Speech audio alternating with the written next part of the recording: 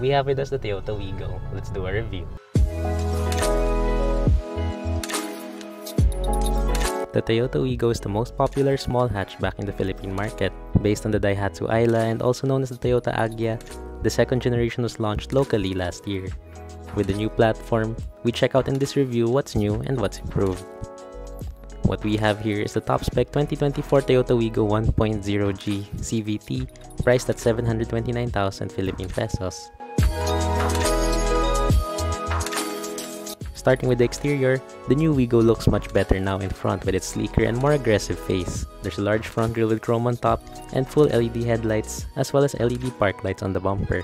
The side does receive a bit more character with some body lines here and there. Power folding mirrors with turn signals are equipped on this variant. And we get 14-inch alloy wheels. I'm not a fan of these as I think the ones on the first gen look much better. These look very old. And like those, I'm also not a huge fan of the rear design for the same reason. While the boxy shape and angular lines do make it look better, it still looks a bit old. At least we do get a rear spoiler on this variant to set it apart. Anyway, opening the tailgate, the Wigo still offers a decent amount of space for a tiny hatchback. We can fit here one large piece of luggage for sure. If you need more space, the rear seats can be folded, though not flat, but at least. In fact, the space was surprisingly enough for me to fit my mountain bike with the front wheel removed. And now we're inside the Toyota Wigo 1.0G, and as expected, like the exterior, it's as basic as it gets over here, but they did change this a lot to make this so much more improved compared to the previous generation. So starting with the design, if you're familiar with other Toyota models, this should be familiar to you as well. Because this basically takes the same design language as the Toyota Raize, Toyota Avanza, and Veloz. So this all looks very familiar and it also looks very modern compared to the previous generation. And the materials that they used here are so much better.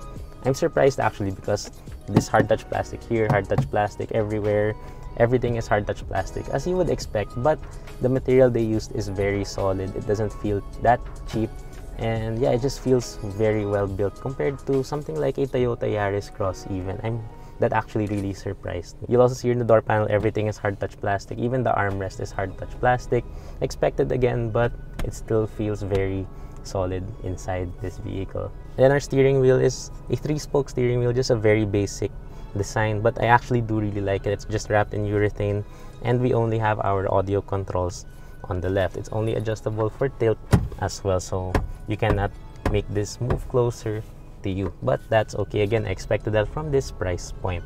Then our horn it's a very teeny tiny Toyota cheap Japanese horn which kind of matches the car but I do wish we had the horn of the Toyota Vios here instead for a little bit of a deeper sound. But again I'm not complaining that much. Easy to change. And right behind the steering wheel, we have our traditional analog gauge design. So this is actually quite refreshing to see. It's very basic, but Toyota did some effort to make this look really good. And I actually like how it looks. Then over there, we can also find a small display that shows our trip computer. So we have our fuel level, our current gear, our fuel economy, our odometer, and our vehicle mileage so everything that you need the basic information is already there and here in the center is an 8 inch touchscreen infotainment system which is the typical that you would find in these Daihatsu based Toyota so it's very responsive. Actually well, not super responsive but it is decently responsive. And it played some Taylor Swift. But yeah so it's decently responsive. It's fairly easy to use. And we do have some physical buttons on the sides. And our lone USB port in this car on the screen. So that's the only USB port you can find in this car. It, it's for our Apple CarPlay and Android Auto. So once connected yeah the Apple CarPlay does look really good. It's nice to have this feature already in this car. The only thing I don't like about this screen is that when you're using it when you're tapping the different functions it feels like you're touching some kind of improperly installed screen protector. So that does give you the impression of cheapness which well this car is really cheap anyway. Then moving down we have our push start button. So this car has push button start at its price. Even the more expensive Honda Brio does not get that. We have digital climate controls manual of course but it is digital and very easy to use. And it's physical buttons which I really like. And then moving further down 12 volt power outlet the only one as well. Lots of storage two cup holders Then here in the center, our gear shifter. So this one also feels quite nice actually. And we do have sport mode and brake mode or our low gear over there. Then when you put in reverse, as expected from a Toyota, it has that annoying beeping sound. And but do note that this has a reverse camera, no guidance lines, and not the best quality, but we do have it. And it also has parking sensors as standard. So that's actually nice to have in this car. Surprising again. Then speaking of the quality earlier, this center console is also quite well built. So it does move a bit, but it is very well built. No unnecessary creaks. Then moving here, we have more storage space over here. We can put our phone over there. Fits perfectly. Additional storage again. And our traditional parking brake as well.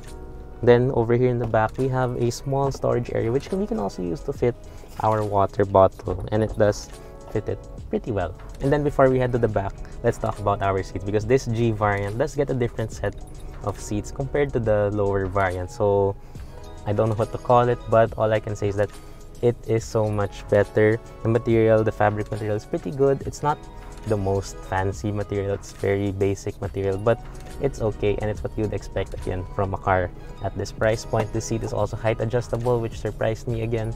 Well, plenty of surprises in this car, and then our side bolstering is pretty good actually. It's very big, so it does give you decent amounts of support, and of course the adjustable headrest, which you can't get on the lower variants. And like many new Toyota models these days, we have a built-in dash cam from the dealer. So this already comes as standard on this variant. So this means you don't have to buy a separate dash cam anymore. Maybe you can buy one from there for the rear, but for the front, you already have this over there. And now we're at the back seats of the Toyota Wigo, and as expected, there's really not much to see back here except for these seats and a couple of storage areas around here. So anyway, let's talk about the seats first, which are honestly not so comfortable. So they're very small. I have lack of thigh support over here, and they're very flat but that again is expected so at least we do have the same materials in front they didn't cheap out anymore with that then materials here as expected as well hard touch plastics on the door panels all hard touch plastic. But space is quite decent over here. So we do have decent foot room leg room is okay and knee room is fine as well. Headroom also is fine. So it's what you'd expect from a small car. There's actually more space here than i expected.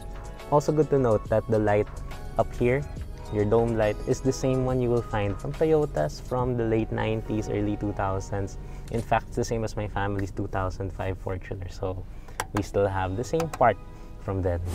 And now we're driving the Toyota Wigo 1.0G CVT. And like it was intended to be doing, we are driving it inside the city. So we get to experience fully how this performs inside the city where you will we're 90% of the time or maybe pretty much 95 and for others every single time that they drive this car it will be driving. And this is not my first time to drive a Wigo at least the nameplate. So I was able to try one before the first generation and it was fine for me. And the second generation it is my first time right now. And honestly this really surprised me as well in terms of driving not only with the interior earlier, everything I mentioned earlier. This also surprised me with driving. Let's talk about the engine first. It's still the same. It's a 1 liter naturally aspirated 3-cylinder gasoline engine that produces 67 horsepower and 89 newton meters of torque compared to a CVT. So that CVT is what's new for this car because the old one had a 4-speed automatic transmission and it does really change things up because we're able to have a much smoother drive right now it no longer feels as bad as a 4-speed or as sluggish as a 4-speed automatic rather.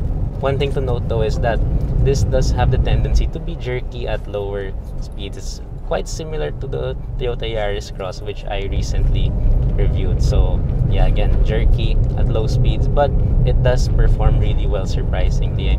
Honestly, I'm liking how this drives more than the Toyota Yaris Cross. Engine response is actually quite good, so you flow, you step on the accelerator and it will instantly respond. There is no delay in this car. So another good thing about this is steering feel because I was surprised to find that this steering is actually a bit weighted. So that does give us the impression of feedback, which you know pretty much in these small cars is almost non-existent. So at least the weighted steering does help us experience this car a little bit better. I mean, obviously, it doesn't handle as well as something like a Honda Brio, which that car just really is a lot sportier, a lot more fun to drive. But this will do, and this and you know that this is really designed for a comfort, comfortable drive inside the city, and I guess it does deliver in that regard.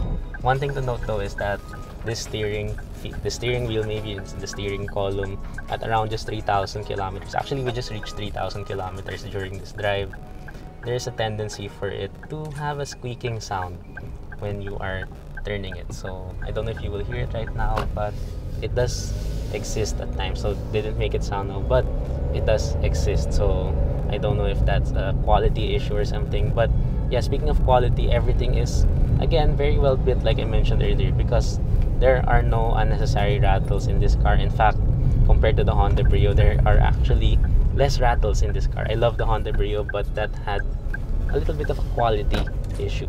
This one does not have that. Another thing, at higher speeds, around 60 kilometers per hour or so, the car does have the tendency to make this whining noise, which I did find very annoying. You will have to get used to that because it's just a constant high pitched sound. I don't know if it's coming from the transmission or something, but it's not very pleasing to hear. It's again around 60 kilometers per hour and above, so you will be experiencing that a lot when you take this out on the highway. Which is don't worry, it's possible. You just won't be the fastest. So I'll try to get that sound to appear right now since we are on a an open road. But yeah, let's see. And there we go. I don't know if you can hear it right now, but I am currently hearing it it is definitely annoying. And even when the engine is cold when you just started driving in the morning or so, there is this annoying sound as well coming from the transmission. I don't know why, but it is there. And speaking of noise, let's talk about road noise insulation because obviously it won't be the best. This is a very affordable city car, so that's fine with me. It is loud at this speed, 40 kilometers per hour. It is already loud. But again, this car is very affordable. And other noises a wind noise maybe on the highway it'll be a bit louder. I'm not sure because i didn't take this out on the highway. But again this is an affordable car so don't really expect too much.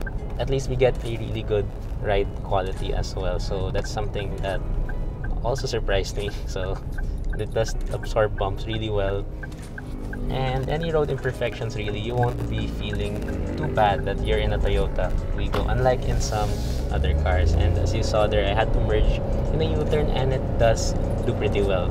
It is getting quite loud but it you can really feel where that loudness is going. So overall I think well maybe I'm not the intended market for this car. I'm not really a small car person especially with how small cars are being bullied by other motorists. But at the same time I guess for this car's intended market it is still a very good choice. I personally would go for the Honda Brio still but this is a decent choice. Maybe just better wheels.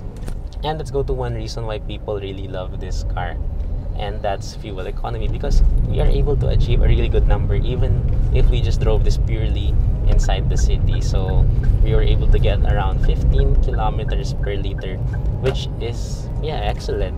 I mean we have we don't have much in terms of power and torque so we do have to keep pushing this car but at the same time we're still able to get a very good number. And on the highway I'm not sure how much you can get but according to some of my friends they were able to achieve around 28 kilometers per liter so that's a good number really.